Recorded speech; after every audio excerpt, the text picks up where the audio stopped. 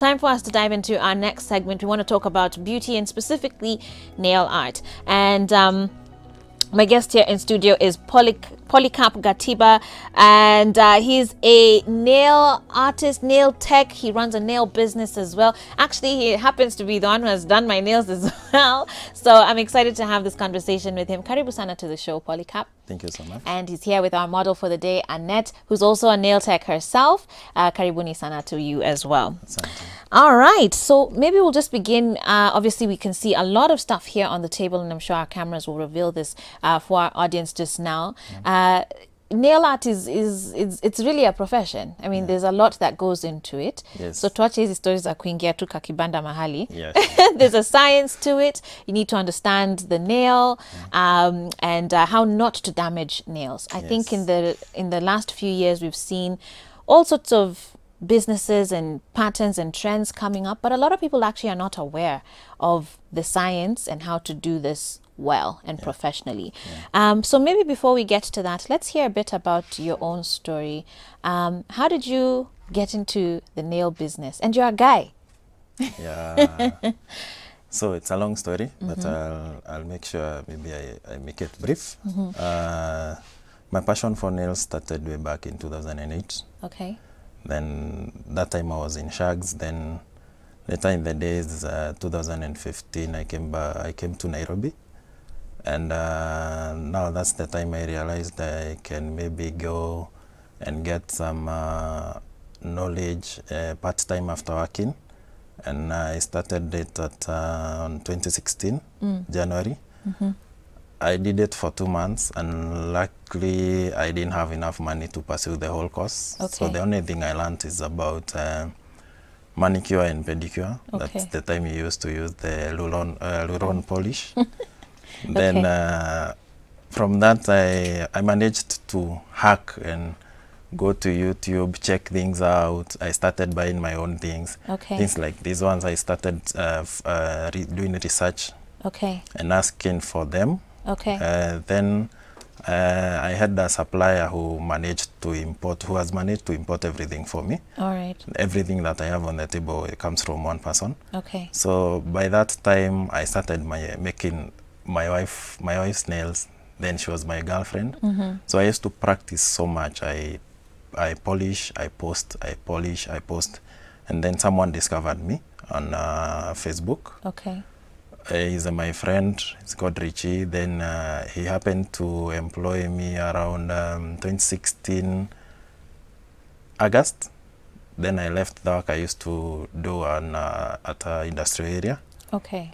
And that's how I came into nail industry. And from his place, I started on my own on 27 in 2017 um, September Okay. after working there for one year, one month. All and right. then uh, I took a small station uh, along Tomboya Street. Then from there, I opened my place at uh, 680 Hotel. Okay. And then uh, I expanded to Kilimani. We are along Kirichwa Road. Yeah. We have a bigger space. Uh, then um, that is last year, April. We are still there and we are expanding because uh, by the end of this month, we will be fully doing hair and nails. Okay, okay. Well, congrats to you on the journey so far. So since 2017, that's pretty quick. I mean, uh, to have set up a place and also to be able to expand. Uh, but today I want us to focus now on nail glitter. Um, which is a big trend as far as nail art is concerned. What does it take to then be able to do good, you know, nail art with glitter? I'm seeing you have a lot of stuff on this table Yeah. and as we're just used to picking up a polish of a bottle of glitter polish so what does it actually take to be able to do glitter nails well Uh, we have so many things to do with glitter. I could not carry and come and show everything. okay But you have things that have uh, that are trending. okay Uh, if I would show some of these. Yeah. These are called foils. Okay. They are very different and you have different ways to, to do them. okay You can see the different colors. Uh, if I would demonstrate, sure let me take this pack yeah, sure. as you prepare to demonstrate but these are foils and you can see they come in different shades and colors And you can transfer the whatever is on this foil to the nail. okay very quickly.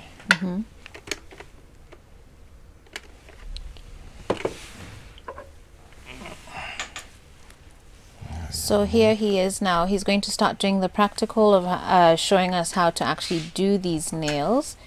So what are you about to do? I'm about to show how to transfer this Foil. this uh, art that is on the foil. Okay. If I would show this, this is a foil paper. Okay. So how to transfer this now to the nail of a client. Okay. Just a second. You have your nail. Let's do this one. This one will show better. Okay. So this you'd typically do on you know you've already prepped, primed, done everything else. Yeah, you have you have done the preparation. You have applied. Um, usually, when you are doing nails, for instance, uh, you have steps that use the. For myself, I I, I, I really do deal with the natural nails. Okay. uh, and making sure people have their natural nails grow without struggle. And I use two products. It's called a builder gel. Okay. Builder gel is this one. Okay. You have the builder gel, and I have the gum gel. Okay. This- so n- so now we're assuming all of that is already done. Yeah, it's You've even already done. the polish color Yes. of her choice. Yes. Okay. So from that point, this product, I can assure you, there are two good products that can make sure your nails will never get spoiled and you'll never damage your nail uh, nail plate. Even after removing them, you will still have the same uh, nail surface or your nail nail plate won't be spoiled. Okay. Yeah, and that's why I took that step to make sure that I go that way. Okay. Yeah. So hiyo yenye umepaka ni nini? Whatever I've applied, it's called a foil glue. Okay. So Foil glue. when you apply a foil glue, you just uh, cure it for 30 seconds Okay. or less. Okay. So meanwhile, mm -hmm. when you are doing all this, uh, my, my, if I was to explain the steps that make sure that your nails grow and don't break, these two products are to protect your nails, not to break. One, I have to put it clear, that doesn't uh, strengthen your nails. Okay. If someone is telling you that the product is strengthening your nails, uh, uh, I tell you for free that's a lie because the product does it's only used to protect your nails from breaking. Okay. I'll do a very fast transfer. Okay. So now that you've cured the foil glue, Yeah. uh, now Uh, you're applying the foil. Yeah, it's ready for a transfer. Okay. So you're just picking like a place with a design you like. Yes, I'll just transfer two flowers here. Okay. These two, I'll transfer them to the nail. Okay.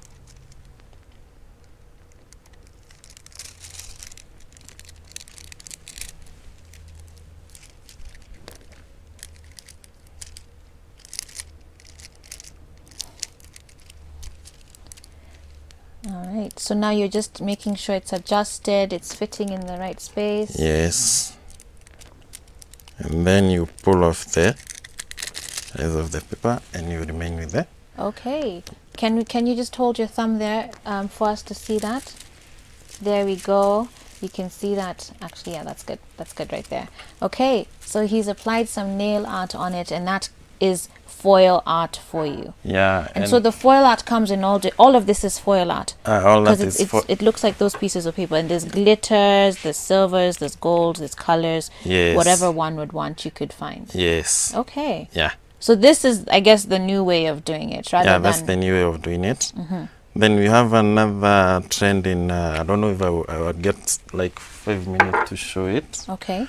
It's called, uh, it's called ombre. Okay, yes. Ombre is a trend in uh, art in nails. When you have to cure it again. Yeah, you have to cure it again. so did you put a a top No, coat or yeah, I. I, just put top coat to protect the the the, the, the, art. the art. Yes, Okay, and that's it. that's it. Wow, That's after you are done with polishing the nails, Mm-hmm. you transfer the art to the nail. great. For So that's one way to do it. Yeah, for mm -hmm. the ombre, if I would show how to do it. Yeah.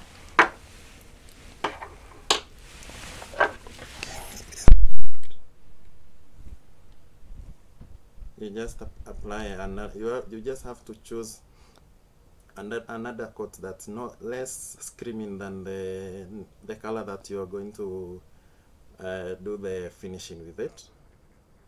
Uh, mostly we go for nudes. Okay, so he's just applying a color that is pretty close to her natural nail tone color. Yeah. I think that's the best way to say it because the whole idea of an ombre is you want um, it to sort of you're blending a color to a natural color. So you want it to have this, you can't see the edges. Yes. Okay. Um, and so what color are you thinking you're going to go with with your ombre? I'll do a burgundy. Okay. Can people achieve an ombre with just the brush, like just kind of trying to feather out the edges? So it's, Ye- it's obviously ye- a lot harder. Yes, you can, but uh, I have a machine that helps me to do it very fast and uh, doing it in a very fine way. Okay. Yeah. All right. So that's the tool you're saying, the machine that helps with that. Yeah, the machine, this is a ombre machine. It's called an airbrush. Okay. So the airbrush is used to spray the nails, to, to spray the polish. Okay. It, you can set it to the required. Uh,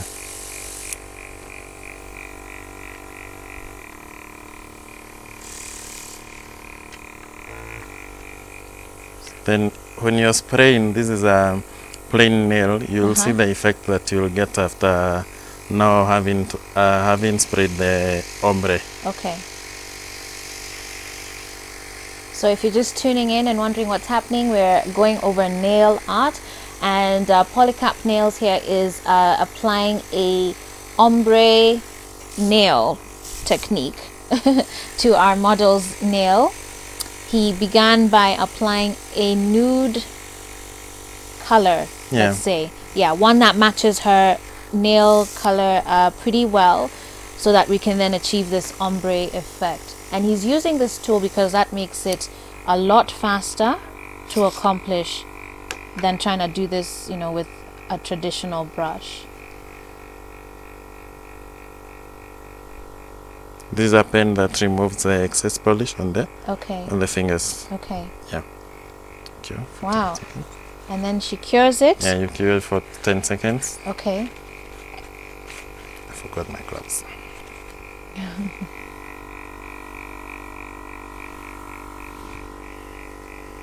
All right. Um, so as as we're waiting for that to cure, um, ideally, how long does it take then when one wants to do?